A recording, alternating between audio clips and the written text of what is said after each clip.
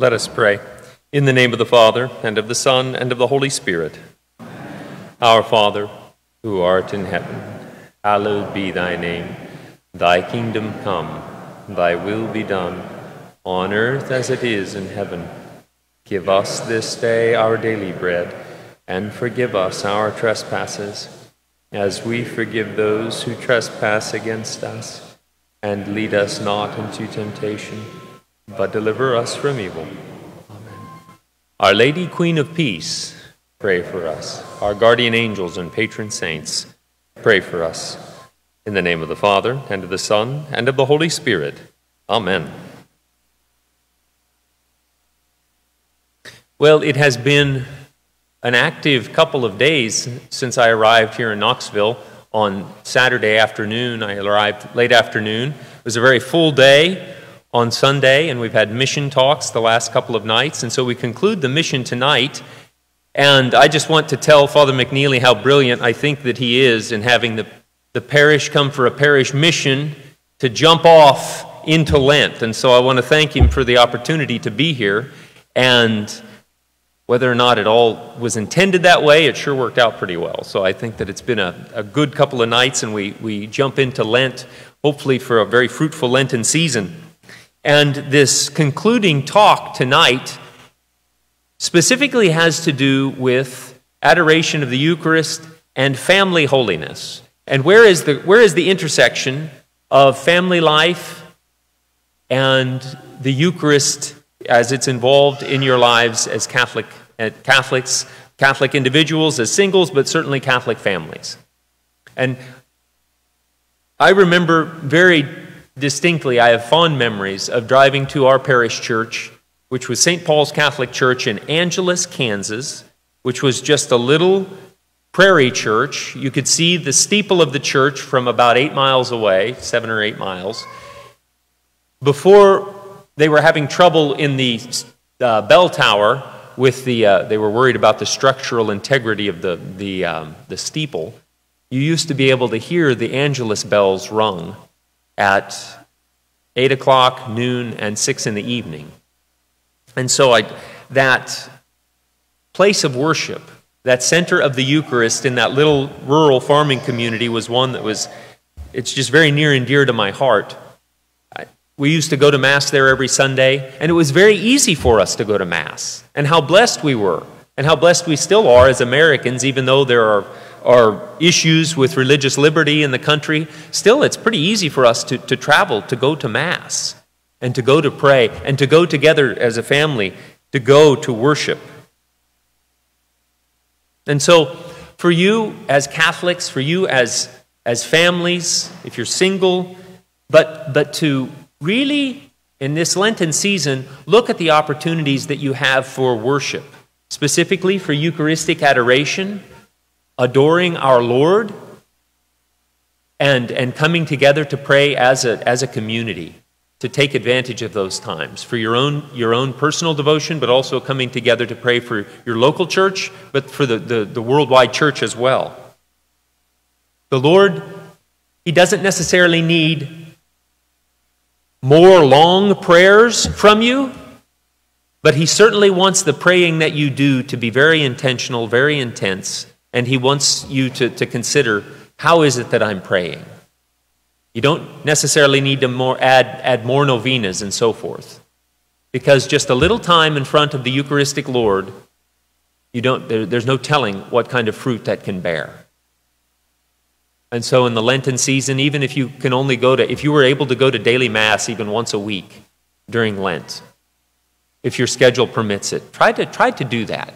To come together and form this habit of Eucharistic worship because the Eucharist is the source and summit of our lives as Catholics. I'd like to read for you a quote from Lumen Gentium, the document from the Second Vatican Council, and it's specifically the, the paragraph on the laity and the work of the laity in the church. I'm going to read it now and then I'm going to reflect on it a little more later on. But it has to do with family life and how it connects with the Eucharist. This is, uh, I think it's chapter 7 in, in Lumen Gentium, it's paragraph 34. For all their works, prayers, and apostolic undertakings, family and married life, daily work, relaxation of mind and body, if they are accomplished in the Spirit, indeed, even the hardships of life, if patiently borne, all these become spiritual sacrifices acceptable to God through Jesus Christ. In the celebration of the Eucharist, these may most fittingly be offered to the Father along with the body of the Lord. And so, worshiping everywhere by their holy actions, the laity consecrate the world itself to God. The laity assist in sanctifying the world through your work, through your prayers, through your apostolic undertakings, married and daily work life, through your vacations and recreation, through your hardships. All of you help to sanctify the world. That's why it's really important that you have a connection with the Eucharistic Jesus. Because all of you go places that clergy and religious can't go. Because we're busy with different things. We're busy with the work and administration of the church, but all of you are out in the world and you're, you're the missionaries, you're the soldiers out in the world who can help to sanctify, help to be the good Catholic witnesses out there.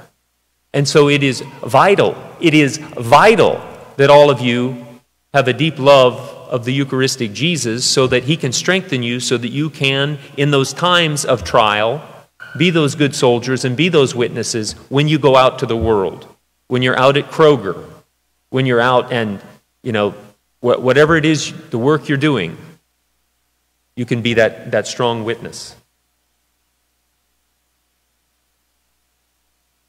When we look at, I mentioned last night, looking at the Eucharist in terms of, in three different ways. I talked about the presence, the present sacrament, sacrifice sacrament, and communion sacrament.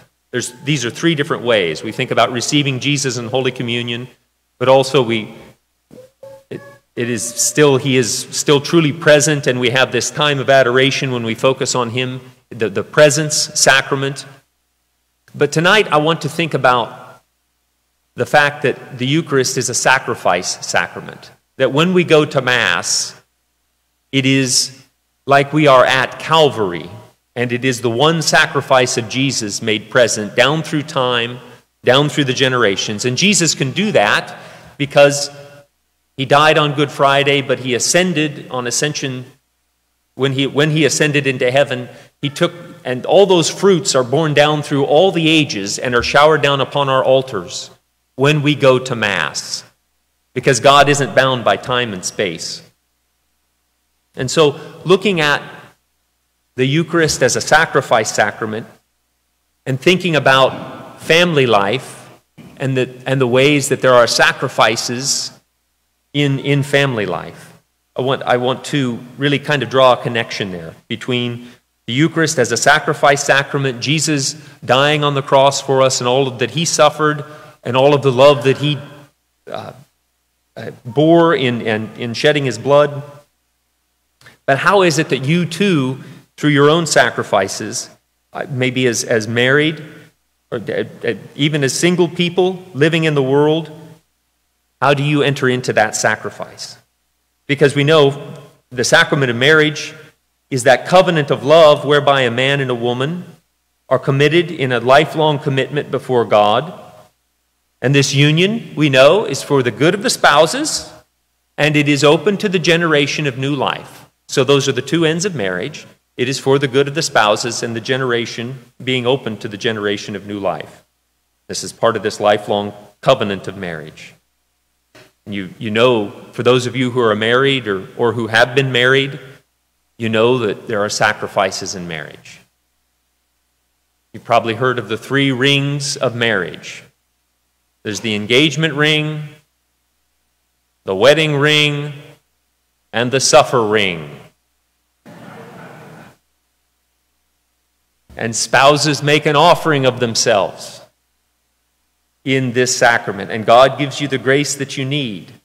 But there's something very special within marriage Spouses say to one another in the marital covenant, in the marital act, This is my body given for you.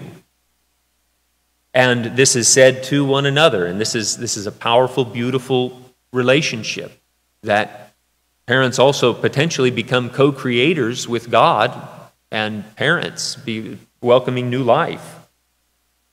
A wife understands that in the sacrifice, she's going to give literally body and blood in nurturing a life as she carries a baby around for nine months and gives birth, nurses a child, cleans up after a child. The father understands he's going to give of himself as well because he is going to have blood, sweat, and tears and a lot of money invested in raising children and time. But these are, these are joy filled aspects if we, we go about them with the, with the right attitude, if we go about them asking God's help, and we continue to work at it, being open to the, the uh, suggestions, you know, that, that uh, hopefully we're trying to educate ourselves as, as mothers and as fathers. But there is that, there, there's real sacrifice invested in this. There's beautiful examples of parenthood that we see down through the ages. Especially, I mean, and I'll talk a little more about Joseph and Mary in, in a little bit. But there is a, a real desire for spouses to, to want to get one another to heaven. I know, too, that maybe sometimes couples aren't always blessed with children. There isn't always a fruitfulness there. But for those who maybe weren't blessed with children, there might even be, or you might know some people who might be divorced, maybe people who are widowed. And, you know, there's a lot of situations in life that are outside of our control where life didn't turn out quite like we thought it would. Yet there is an opportunity to enter into this sacrifice, this sacrifice sacrament, and laying, and I, like I mentioned last night, putting these things on the altar and, and trying to be fruitful for the Lord, but we've got to put things on the altar for the Lord really to be able to enter our hearts. We've got to open our hearts up to Him. Because the Lord Jesus certainly, He certainly understood sacrifice. He sanctified sacrifice. And He calls us to enter into this. And so we look at, at Joseph and Mary, St. Joseph, Our Lady. And I, I want to look at a specific instance in the life of the Holy Family for just a few moments. And it's from Luke chapter 2. It's when the Holy Family went to the temple and Jesus stayed behind. So it's, it's the story of the finding of Jesus in the temple. Each year, Jesus' parents went to Jerusalem for the feast of Passover. And when he was 12 years old, they went up according to festival custom. After they had completed its days as they were returning, the boy Jesus remained behind in Jerusalem, but his parents did not know it. Thinking that he was in the caravan, they journeyed for a day and looked for him among their relatives and acquaintances. But not finding him, they returned to Jerusalem to look for him. After three days, they found him in the temple, sitting in the midst of the teachers listening to them and asking them questions. And all who heard him were astounded at his understanding and his answers. When his parents saw him, they were astonished, and his mother said to him, Son, why have you done this to us? Your father and I have been looking for you with great anxiety. And he said to them, Why were you looking for me? Did you not know that I must be in my father's house? But they did not understand what he said to them. He went down with them and came to Nazareth and was obedient to them. And his mother kept all these things in her heart. And Jesus advanced in wisdom and age and favor before God and man. There's a little bit of turmoil in the Holy Family. Here we've got the 12 year old Jesus who is truly God and truly man in this mystery of the incarnation. And in his human nature, Jesus never sinned. And Jesus was, though, very aware of what his mission would be. Did you not know I was to be in my Father's house?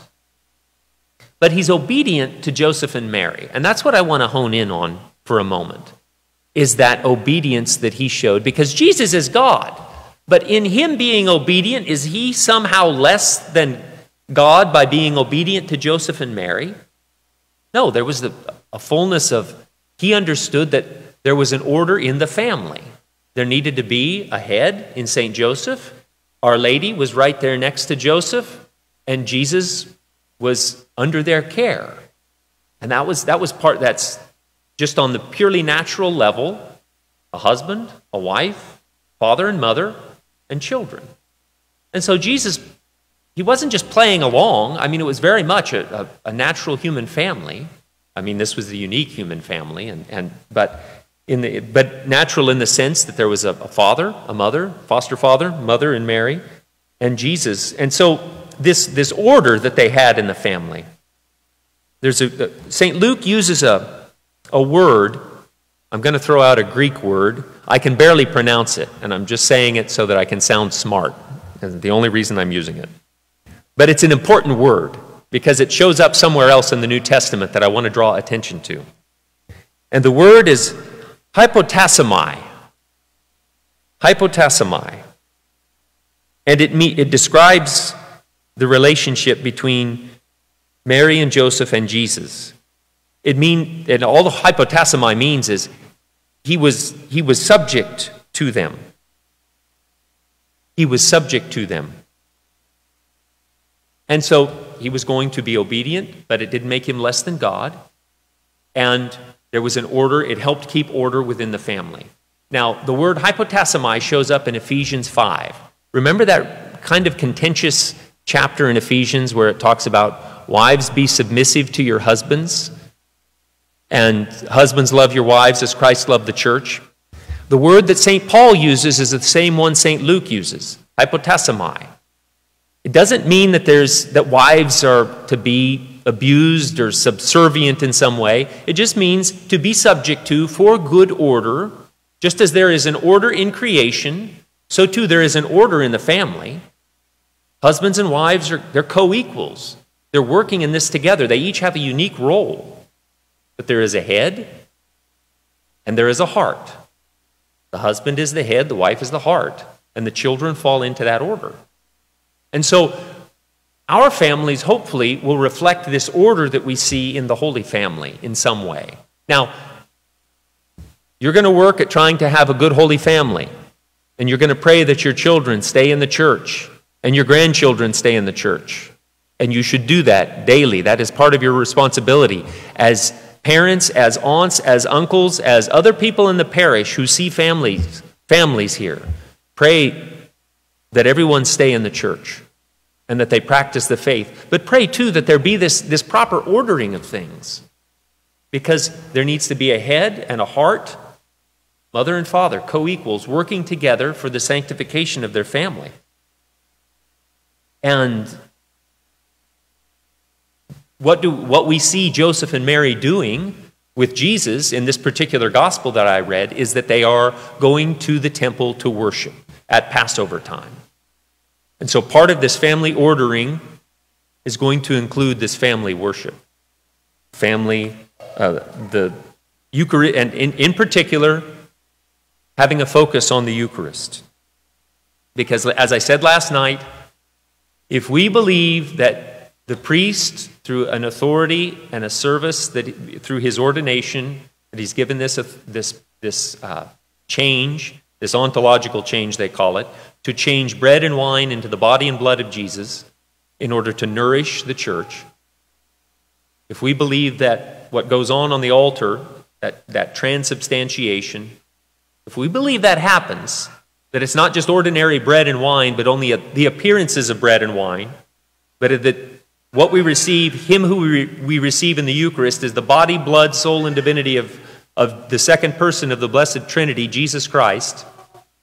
If we believe that's going on, then do we believe that all the things that we put on the altar, all of our intentions, all of our struggles, do we believe that God is going, that He's interested in them?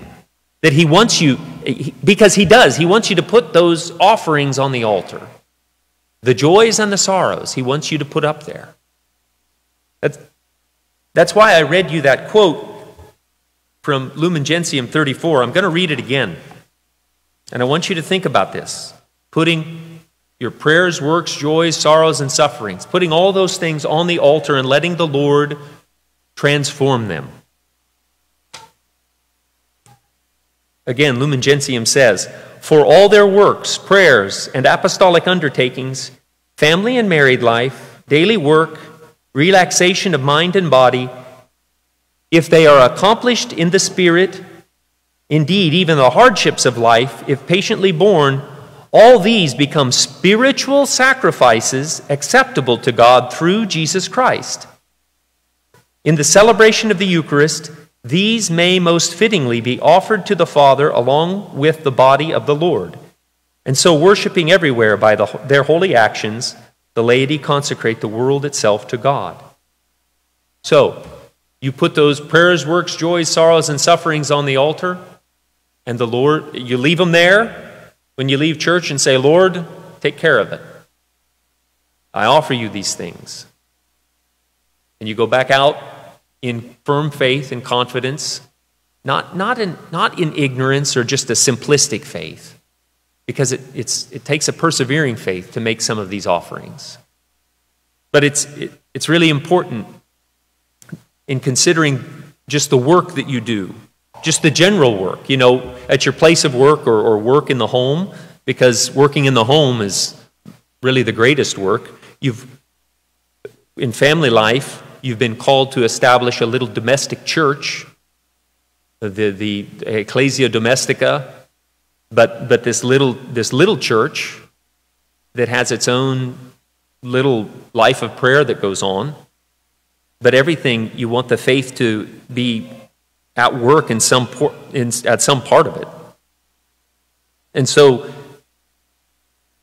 looking at, at some of these points from from the, the, the works that you do that Lumen Gentium talks about? How does your faith affect how you act at work?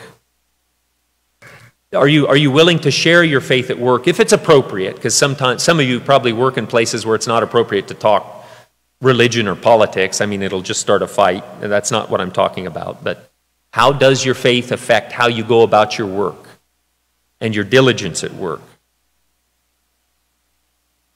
Your family prayer life in the little domestic church.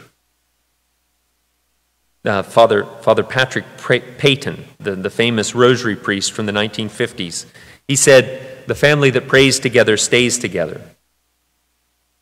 And so, what, what does your family prayer life look like? Obviously, you're going to Mass, coming to Eucharistic adoration when that's available. But what other things might you do? And you don't have to do all these things that I'm about to list, but what, what might you do? There's obviously the rosary is, is a good one to, to pray the family rosary. I know my family did not always pray the rosary when I was growing up. It was, um, I was probably in junior high.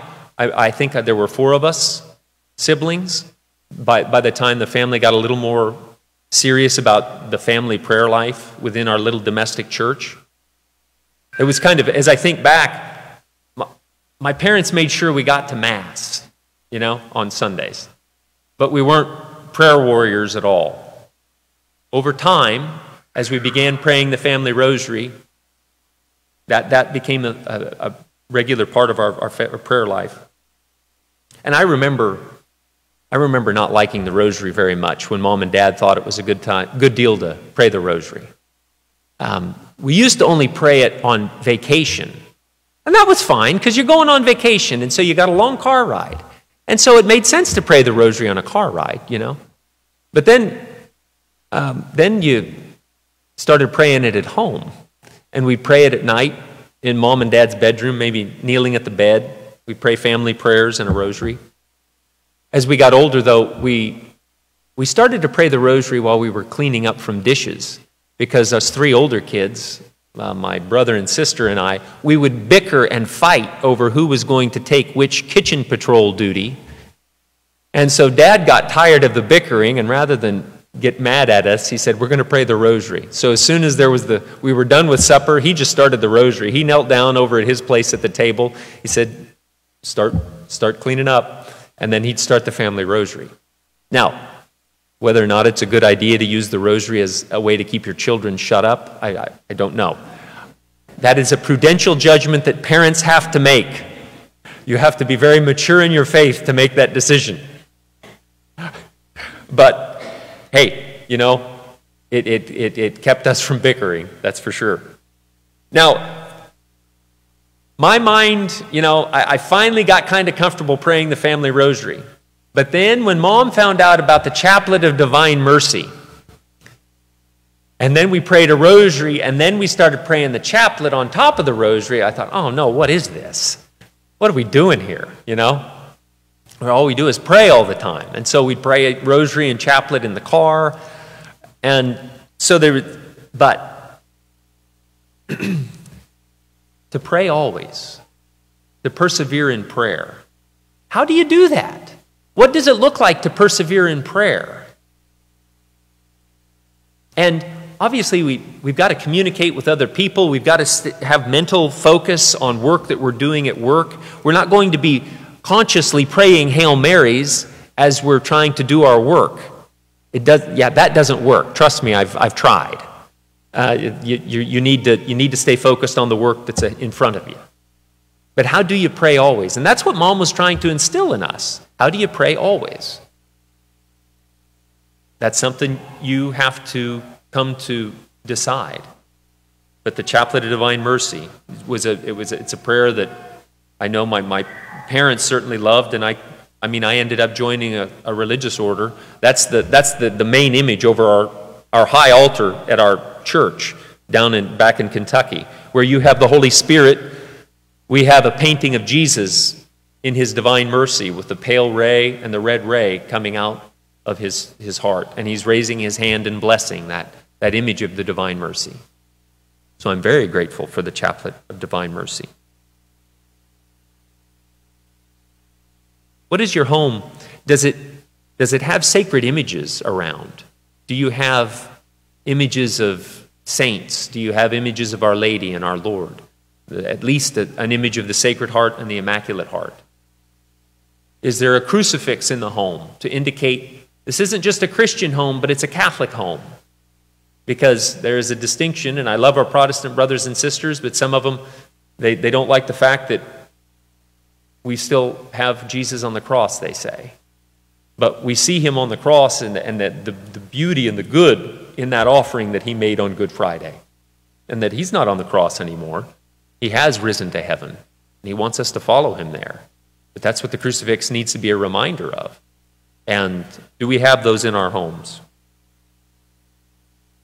This is something, I'd like to say something distinct to parents and grandparents, and, but, but especially moms and dads. Um, when you pray bedtime prayers with your kids, Pray with them, you know, and, and I wouldn't be afraid, and maybe you do this, but make a little sign of the cross. Give a little blessing as a, a parental blessing to your kids. Because you have a, it's not a, it's not a priestly blessing.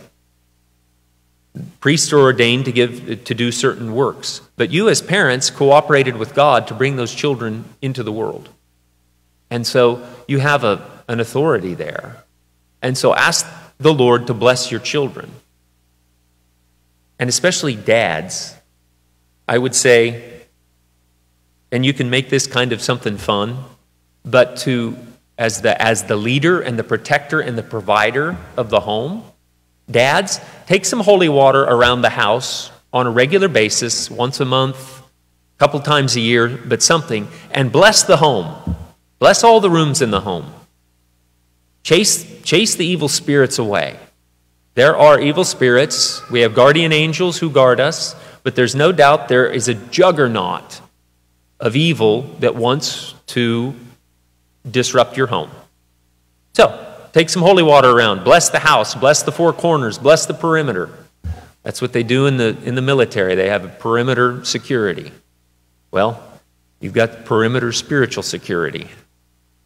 And, and to take advantage of, of those sacramentals that we have. Because this, because what do sacramentals do? Sacramentals stir our faith. They aren't sacraments per se, but they do stir our faith. And the more that you have a desire to love the Lord and to be reminded by those sacred images what, what they remind us of, that's going to stir that faith and deepen that faith. So, the use of sacramentals, the use of holy water.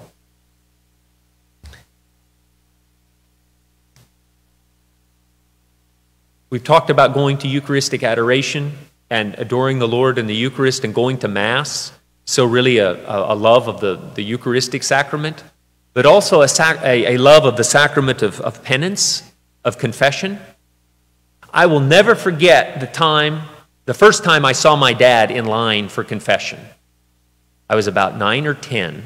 I was in line for confession, and I thought, I, would, I, you know, just kind of casually looked to see who was behind me in line. There's my dad. And I, you know, and dad was kind of a, he could be an intimidating character. And I loved him, you know. But I thought, oh, dad's got to go to confession too. He's got to ask God's forgiveness as well. And that there's something very special about a father's role in helping us and, and really modeling for us God's, God's forgiveness and mercy. There was another instance in my dad's life. I don't know if he ever knew that I, I heard this phone conversation. My dad was on the local public school school board. And it was at the time of year that the school board was negotiating new contracts with the teachers. And, you know, this was a negotiation process. And dad had a threshold of patience. And unfortunately, sometimes that got, you know, once they hit the threshold of his patience, he, he might say something that was a little um, barnyard sounding. And so he pops off at one of these teachers who was going back and forth and had gotten on his nerves. And it was, uh, it was out of line, and he was wrong. And I remember one evening he called the teacher and I overheard the conversation, and he, he apologized.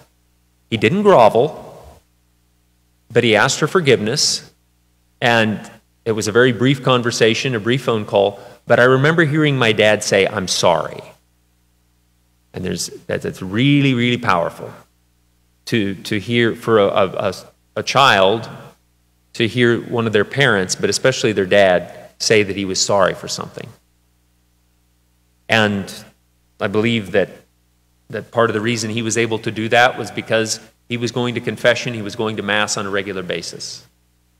And that was, that was something that, that um, don't, don't underestimate that uh, in, in your role as parents, but especially for you dads, as leaders and protectors and providers, uh, to take that role seriously, that, especially that role of demonstrating what it means to Ask God's forgiveness and then show that forgiveness and that love of God the Father to your kids.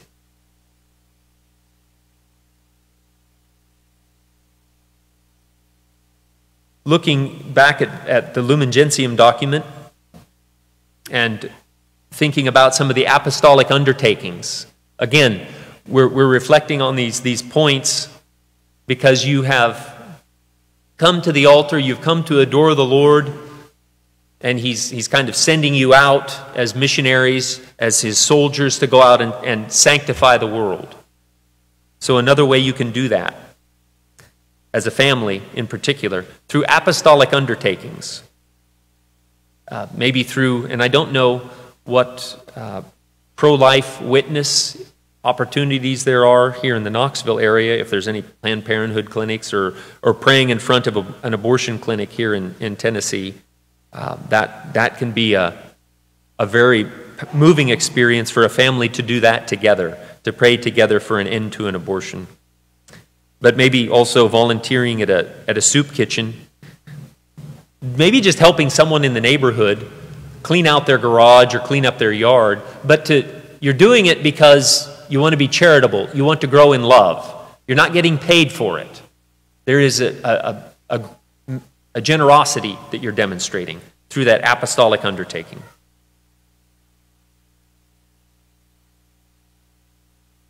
Through your further daily work, again, I, I already touched on work a little bit, uh, just ways that you, you go to work and try and live your, your um, live as a, a faithful Catholic at work. Uh, Lumen Gentium brings up uh, relaxation of mind and body, which I'm, I talk, I, I changed it to consider like vacation and recreation. Does your family have fun? Do you, do you have fun as a family? You know, is there a, a legitimate and a serious, you know, on Sundays, do you do things that are relaxing? Or is it just more of the humdrum day to day stuff? Even if it's only for a couple of hours, because maybe you, you do have work. I mean, where we grew up on the farm, we, we fed cattle twice a day, seven days a week. If there were sick animals, we doctored them twice a day, seven days a week. So there was no, there, there wasn't a lot of, of rest from that. And, but I was grateful my parents made sure there was some fun. And it's a virtue, the virtue of eutrapelia, and it's a, a glad heartedness. But to let the, you know, when you, when you go on vacation or those times of recreation, make sure that you're planning ahead for Mass. You're going to go to church when you're on vacation. And maybe this is something you could try to do. When you do go on vacation, go look for a church you can visit. Just because you come to Holy Ghost Catholic Church, go see what other churches are out there. See how lucky you are, maybe, in having a church as beautiful as this one. Because one day I'm going to put together a list of the top 10 ugliest churches in the United States of America. And let me tell you, there's some doozies. I mean, and especially when you have to look for Jesus, I mean, it's like, uh, it's where's, where's Jesus? You know the where's Waldo? Well, where's Jesus? And because you can't, you can't find him sometimes because the tabernacle isn't in the front and in the center, up where he, where he belongs. But take your family, and, or if you're by yourself, even for your own, you know, you're just with some friends, plan on going to Mass. And here's a, here's a little cue, though if you're a little nervous about just going to any church because you're, you have sensi- sensitive sensibilities, look in the bulletin and see what time confessions are. That's always my tell, and I, I hope I don't get in trouble for saying this, Father. But when I am scheduled to do a parish mission, one of the things I do is I check to see when are confessions. And if confessions are easily available, that tells me that this is a parish where the sacramental life is alive. So, if you're going on vacation, check to see, check the bulletin. And, and don't tell me you can't check the bulletin, okay? You can check the bulletin five minutes before you think Mass is going on because we got these great little tools called smart devices, okay? You can check. You just need to not be lazy about it. But see if the sacramental life is alive at the parish. If you think, ah, this is a little more, a little too broad minded of a Catholic church, I, I, don't think this would be great for my, I don't know if I, I, I can pray here. And that's, that's something you need to know about yourself. But, point being, going on vacation, plan ahead. Go say hi to Jesus on your vacation. And lastly, Lumen Gentium talks about the hardships. The hardships of life, again, those hardships that we place on the altar that can really stretch us. The sickness, the financial struggles, uh, the, the sudden unexpected deaths, uh, crises in faith. I mean, you name it. We, we know what those struggles are. Each one of us has those struggles but to bring those to the altar. Because that's the, the Lord is going to, if you open your heart up, the Lord wants to hear about that. And, and he, wants, he wants you to share that with Him. And He's not going to take it out of your hand if you think, well, I can fix it, I can change it, and you just hold it close to your chest. No, put it on the altar, leave it on the altar. And it'll be work to say, Lord, I give this to you. I, I leave it there, Lord. You take care of it. But these are, these are some ways that it, there is this, because we've been nourished by the Eucharist, because we love the Lord, but we also know that we can't stay at church. We have to go out into the world. You've been given a special role as Catholic laity to go out and sanctify the world. But you, you, you need God's grace and you need the strength in order to do that. And this is going to be the source of your strength. He is going to be the source of your strength. And so to, to let Him help you by being available to Him for some time.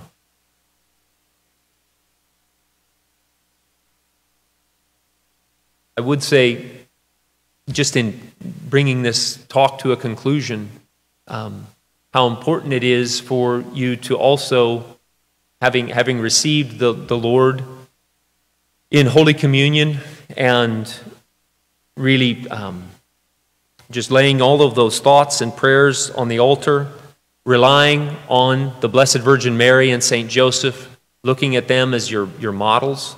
And, and you don't have to be you don't have to make your another holy family because there was one holy family and there can't be another holy family. But you can strive for holiness within your family. You can be a holy family.